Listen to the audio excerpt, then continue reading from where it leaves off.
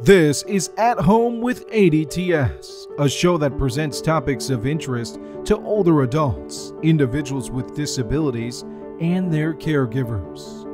At Home highlights the services and programs offered by Aging, Disability, and Transit Services of Rockingham County.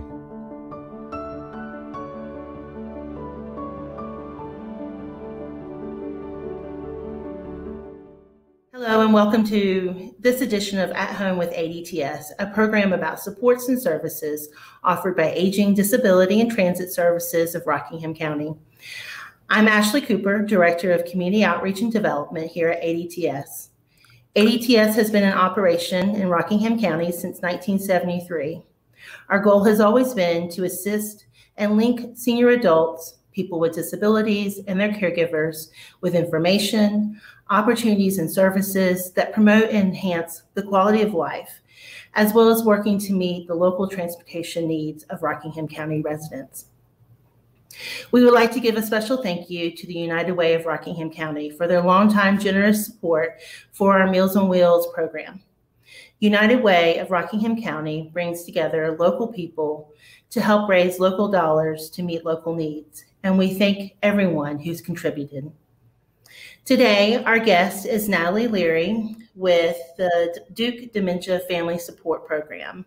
Hi, Natalie. Hi. Hi, Asheley. Thanks so much for the opportunity to be here today. Absolutely. Do you mind introducing yourself and telling us a little bit about the Duke Dementia Family Support Program? Happy to. Um, so, as you mentioned, my name is Natalie Leary, and I'm one of the social workers at the Duke Dementia Family Support Program. We are a small team. Uh, we're four social workers, and uh, we have the privilege of working with folks regardless of their affiliation to Duke, I often tell folks it doesn't matter what you think about our basketball team, we can still work with you.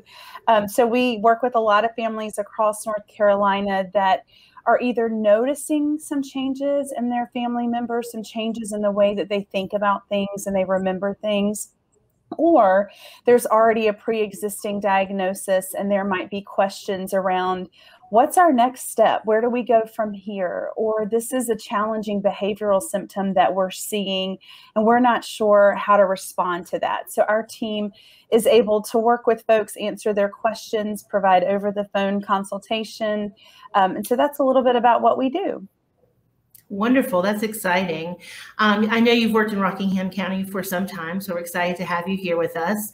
Um, can you, today we're going to talk about caregiving and like the different caregiving roles that happen, um, not only as a spouse, but maybe as an adult child, um, and then also as a long distance caregiver. So before we get started with that, um, how would you define what caregiving means or um, who is a caregiver?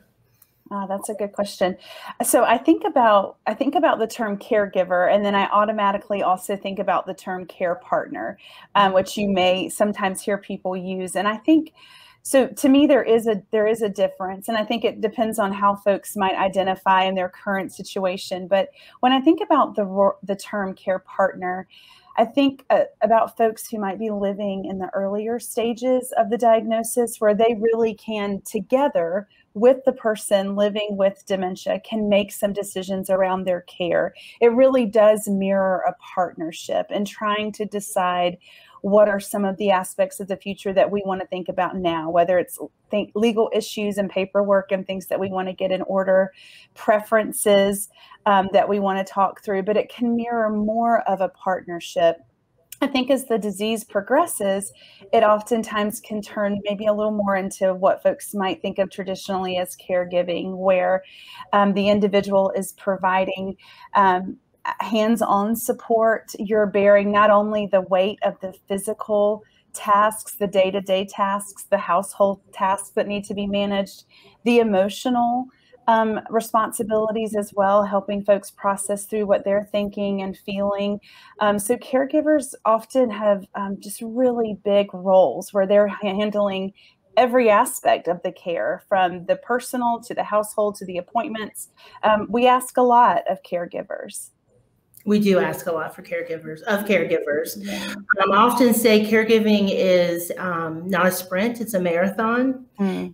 And um, the most successful caregivers are ones who, you know, seek out support, who take care of themselves. And so um, we're going to talk a little bit about that as well in future episodes. But um, so when we talk about caregiving, a lot of times spouse become the first line of defense in hmm. caregiving, mm-hmm. or they take on that role first.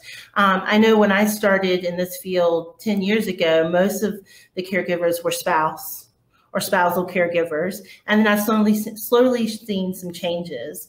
Um, but as far as as far as someone who's transitioning into this role um, as a spousal caregiver, what should they be thinking about? Yeah. Well, the first thing I think about is just the acknowledgement of the change in roles and relationships. So, if you are a spouse or a partner to someone who's living with changes in dementia or memory and thinking, then in some ways it may feel like you have lost your partner and that they are no longer able to um, contribute in the same way that they previously were, even in decision making and deciding how we manage our finances and, um, you know, whether we do this or do that. You may be grieving that you've lost that partner's ability to contribute. Um, and so I think that's important to note that there that's a that's a difference, and specifically to spouses versus other folks who may serve in the caregiving role.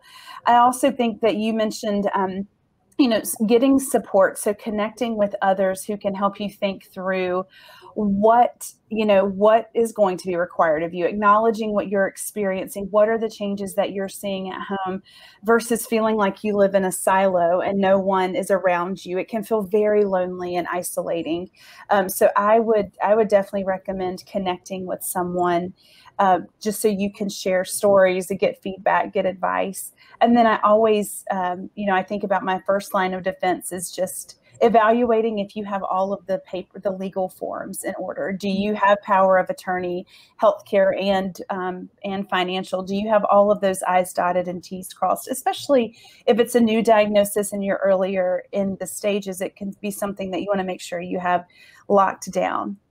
Mm-hmm. Absolutely. Often find too that spouse spouses tend to be very protective, mm. right? So they'll carry a lot of that burden and not really share it. Um, and then sometimes something will happen; they'll end up in the hospital, and the family's really kind of caught off guard that that their um, parent is actually experiencing a disease or is a lot farther along than what they realize. Do you see that quite often as well? Yeah, and spouses, I would totally agree because as a partnership or as a, a, a couple, you have determined kind of how you interact with one another. We, you know, I have a colleague who calls it your kabuki dance. Like you figured out like how we dance together. And now that's all up in question. And so you all have your rhythm rhythms at home that you've established. And the last thing that a lot of folks want is a third party coming in to disrupt that, or some may take it personally that it that it looks like I can't care for my partner or my spouse and that I need a third person. And, and I would just say that again, caregiving is a 24 7 365 day a year role that you're playing and it's it's reasonable that you would want to ask for help. But yeah i do see that specifically with spouses there's maybe a delay in getting another person at the table to help with that. Even sometimes privacy um, with not inviting children into that adult children um, it may be, you know, we'll manage our finances, we'll manage the in home. And then it feels like there comes a point, whether if it's because of crisis or a drastic change, where the, the white flags go up and the spouse says, I can't do this anymore. And now we're in crisis mode. And so we have to kind of figure out okay what are we going to do is it bringing someone in are we looking at you know maybe a, a, placement outside of the home so you know one of the things that can be helpful to think about is just a contingency plan you know mm-hmm. right now I am providing care for my my my spouse or my partner and I'm going to do that for as long as I can safely. If something were to happen, if life threw me a curveball, what would be my plan B? You know, what what is it? An adult child who's willing to step in? Is it uh, maybe a temporary or more permanent move to a residential care community? So just entertaining the idea of a contingency plan can be helpful. Yes, absolutely. And you bring up a good point about adult um, children. Often uh, they step in at times of crisis or they're called to step in at times of crisis. And for adult children, we see a lot of times that they're carrying a lot of other burdens besides, mm. um, or a lot of other roles as well, besides just caregiving. You know, they're also caring for, um, their children or maybe their spouses um, or um, their in-laws as well. So, um, and I believe we call that the sandwich generation. Are yeah. you familiar with that? Yeah, absolutely. Absolutely. And we're seeing that a lot more um, where they're kind of sandwiched between caregiving their children and caregiving for their parents. And, you know, often with um, adult children, as they step in, there's that role reversal, that time for adjustment. Um, can you speak to a little bit about some of the issues that involve an adult child stepping in as a caregiver?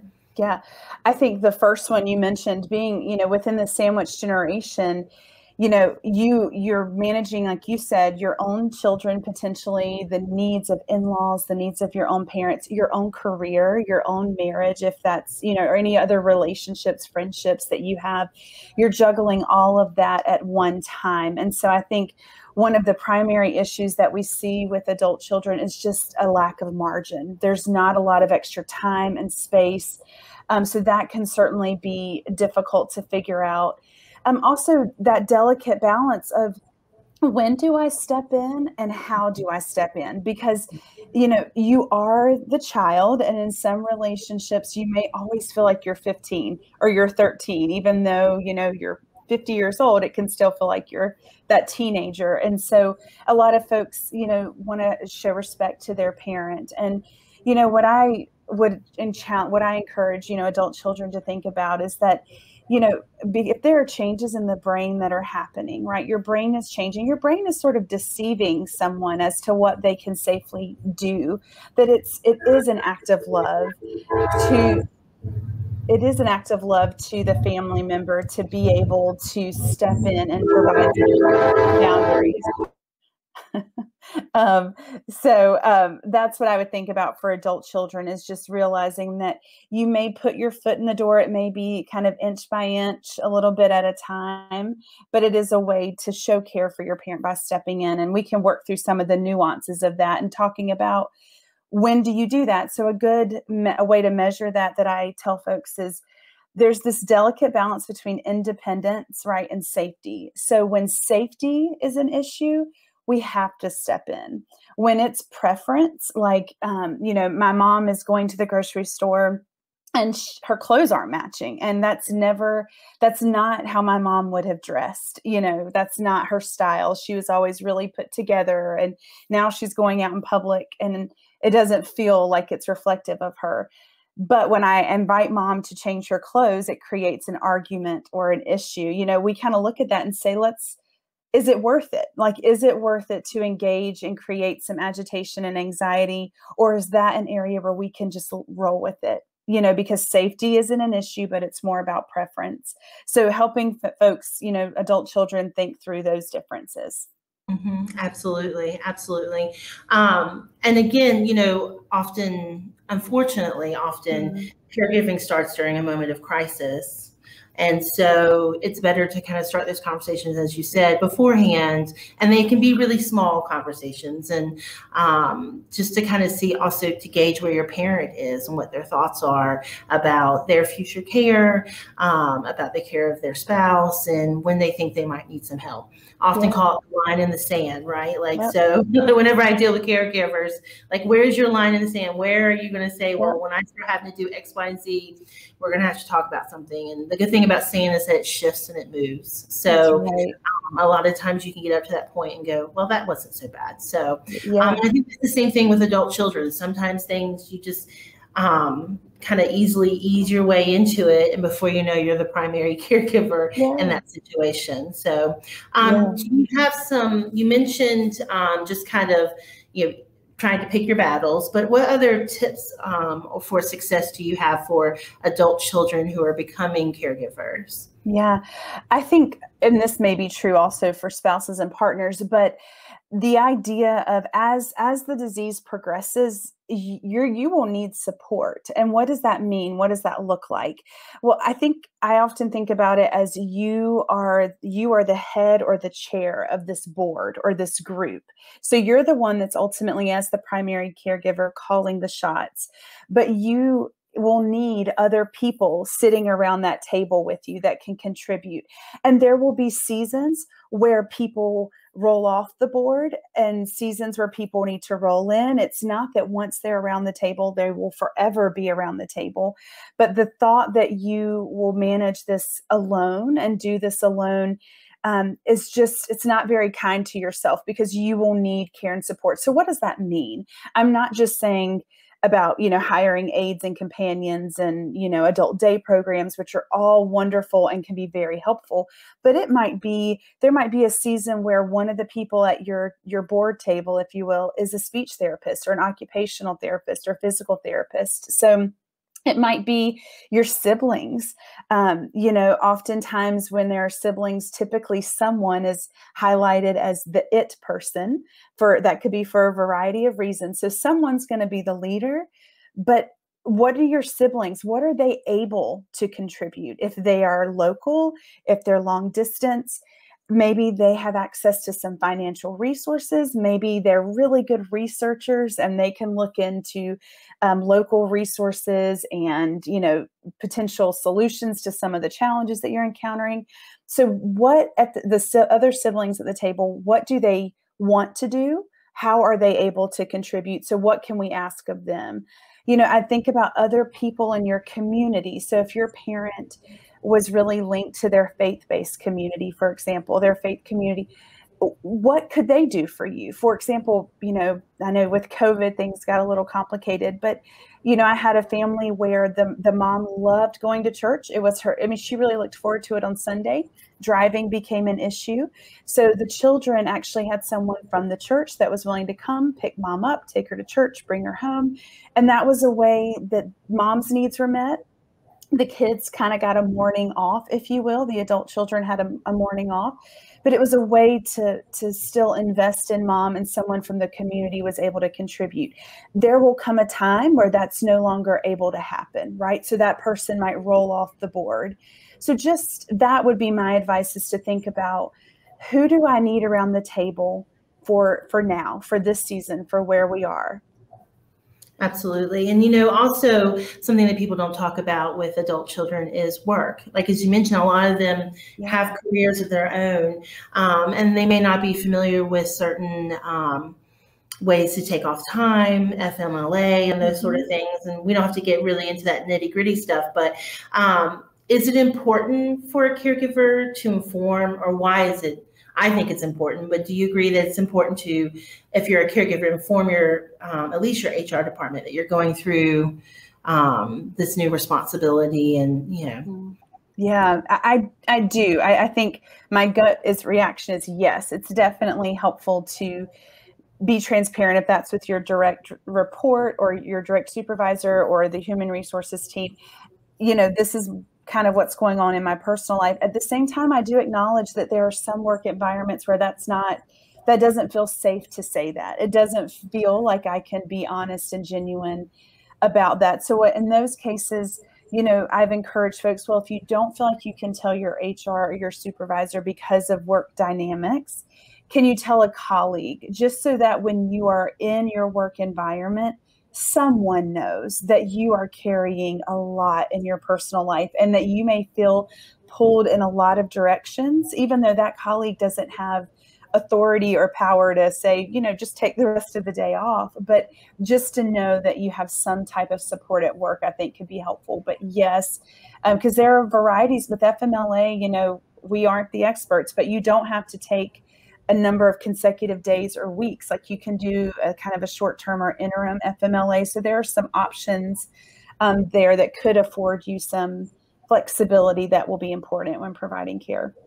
Yes, absolutely, absolutely. And then, as I was speaking about earlier, the recipe for success, I think, for especially for adult children, because they're caring so much, is to take care of themselves, mm-hmm. right? To really kind of prioritize that. And it's it's I know it's a lot easier said than done. And when I found myself as a primary caregiver for a couple of years, um, I really had to kind of, when I found myself finding myself saying no one else can take care of them the way that I can is the moment that I need to step back yeah. because like I was way too invested in time and um, you know as long as they're safe and clean and then they're they're able to provide the same care so um, yeah so go ahead well, I was I would say I agree with that and I hear that from spouses, from adult children mm-hmm. because there's this idea which is not untrue, right? That you know this hired companion aid agency they're they don't love my mom or my dad or my husband the way that that i do and that's true but i would also kind of argue to that they also get to clock in and clock out whereas you're doing it all the time so they get a four hour shift or an eight hour shift and so there's a different um, margin available to you when you're clocking in and clocking out but when you're doing it round the clock all the time uh, you wear thin and you may feel recharged and refreshed after a couple hours of being able to step back and then step back into it. So, yeah, it is hard. It's hard to give up that control. It is. It is, especially when it's somebody that you care for so much. exactly. Much.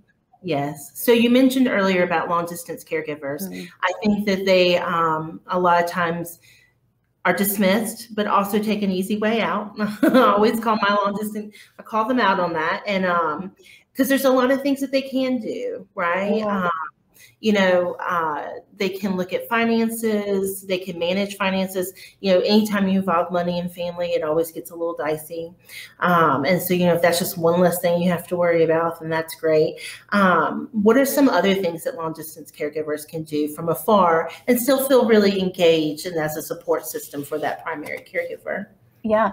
Well, I think one is um, staying connected to the care recipient too. So, mm-hmm. you know, if, if, that is calling you know I, have seen where siblings have a schedule like you call mom on monday you video chat mom on thursday and then the the whoever the local primary caregiver maybe even isn't on that rotation um, formally but knows that long distance care partners whether that's siblings or cousins or whomever that is is going to be checking in. So one you can help by helping the care recipient have the opportunity to be engaged, giving them someone to talk to.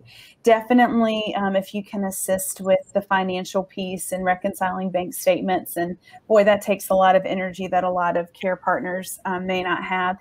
Research. So, if we're noticing, for example, that maybe it's time to engage um, an agency, an adult day program, a third party to come in the home that that's a big job to screen um, potential agencies or individuals or to call and get the do you have openings? Do you not? You know all of those things. So from afar you can absolutely um, you can take the lead on that you know for your primary caregiver. You know you could call our team your community too and then we can give you some suggestions of where to start and then the person from a distance can do a lot of the filtering and the screening which is really helpful. It saves the the local primary caregiver from spending a lot of time on the phone and bearing no fruit like we're mm-hmm. not making progress.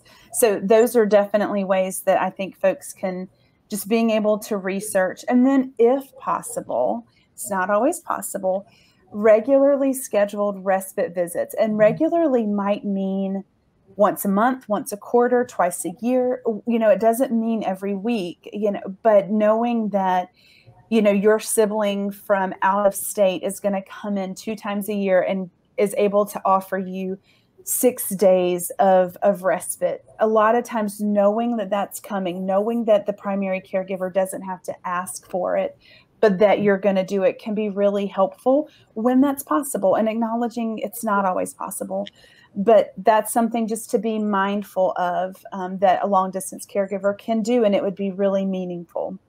Yes absolutely. Quite often when i was working at the adult day program most of the time the referral came from somebody from out of town, right, who had come home to visit and then realized that the caregiver was really kind of drowning in responsibility and needed a break, and then would get online and go, hey, um, I'll look at this up and see if there's some other resources or support for you. Yeah. So um, I think there's a lot of value in a long distance caregiver um, that, you know, that they can really um, participate, be an active participant in caregiving and still being far away. So, yeah. You know, one other, sorry, Asheley, one other thing that kind of comes to my mind, I don't know, I'm sure you may see elements of this too, of, you know, if I'm the local primary caregiver, it feels like a big job to have to keep everybody else informed as to what's happening here. So we go to the doctor's office and I have to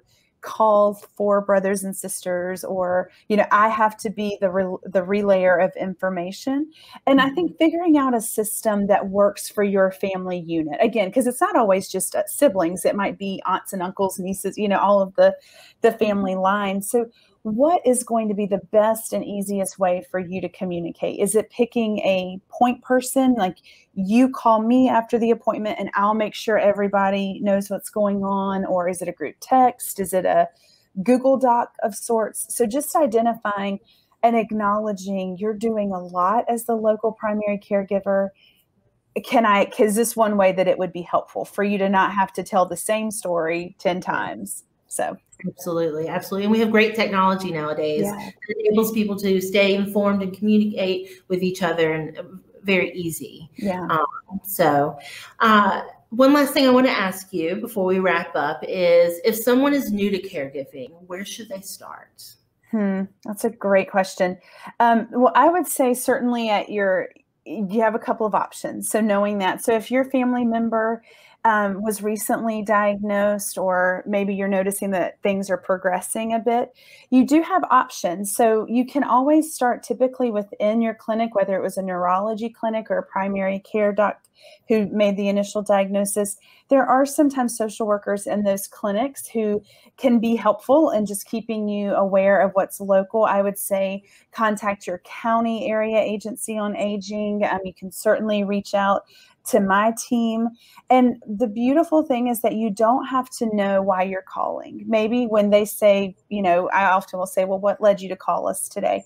You may say, I'm caregiving and I don't have a clue where to go from here. And I think our job, my job, Asheley's job is to is to take this huge elephant we've all talked about i think there's an elephant behind me but you can mm-hmm. take this huge elephant and just bring it in bring the focus in and say okay today we're going to start here. You know so I, I think about a caller i had who um, you know the, there was a new diagnosis very early in the process but the caller was understandably so overwhelmed that we were already wanted to already talk about end of life and funeral planning and things like that that are important but they're not important today. Like today let's talk about you there's a diagnosis. What does that mean for right now? And then we can kind of broaden the picture a bit. So I would say your your local agencies, our agency, and even your doctor's office if there's a social worker on staff there. Would you would you add anyone else to that, Asheley? No, actually, I would say um, mention the social worker at the doctor's office. I'm finding that's um, a new role that doctors are exploring, and they've become a great wealth of information as well as partners for agencies like ours in the county. But no, yeah. I completely agree with that. Absolutely. So you mentioned um, your agency. So if somebody wanted to reach out to you, what would be the best way to contact you? Sure. Um, so you do not need a referral from a provider. So you can make the call yourself. Um, you can call our main line if you'd like. Um, and that number is 919 660 7510. And again, we're a small team, so um, it will not be hard to find us. Um, you could also, our website is dukefamilysupport.org. Um, that has all of our, our staff listed as well as emails if you prefer emailing. I know sometimes it's hard to find a moment to talk. Um, so you can just reach out. There's no cost for um, our any of the services that we mentioned today, from your service to the social worker. There's no cost for that. So you can certainly reach out um, as many times as you need. So you can just call us or email us, and then we usually schedule a time to talk, knowing that you know schedules can be funny and we want to find a time where you do have some time to share a little bit about what's going on wonderful and even though y'all are in durham or raleigh um, durham okay. Mm-hmm. um, you still manage to make it out to the different parts of the states. We do. so, yes various times. So um, you know you can talk face to face if that's what you mm-hmm. prefer, but you can also talk over the phone. So, yeah, I guess I'm remiss I didn't mention Project C.A.R.E., but Project C.A.R.E. is another piece of what we do, which is more respite focused. Um, mm-hmm. so we do that that kind of modified care management, which you're we're already doing and you're already doing, and in addition to that, we have some funds for respite um, as well. Yes, and I look forward to talking more about that in future yeah. episodes. So, but thank you so much, Natalie. I really appreciate it. Um, and that's all the time we have for today. We want to thank everyone for watching and hope that you find the information beneficial and valuable. For more information on the programs and services at ADTS, you can visit our website, which is www.adtsrc.org, or you can give us a call at 336 349 2343. Um, again, thank you for joining us today. Remember that ADTS ATS is here to help you and your family age with dignity and independence and to remain in your home and in your community. Hmm. Thank you. Thanks for tuning in to At Home with ADTS. For over 45 years, Aging, Disability, and Transit Services of Rockingham County has focused on enhancing quality of life for individuals by empowering them to achieve optimum health and well being independence, and participation in community. To learn more about community based services, resources, or how to help, visit adtsrc.org or call 336 349 2343.